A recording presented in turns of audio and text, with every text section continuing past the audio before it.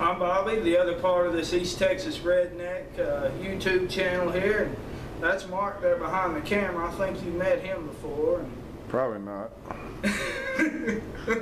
and I'll be doing some videos here on Chuck Wagon, a couple more guns, and uh, definitely some storm chasing here a little bit later.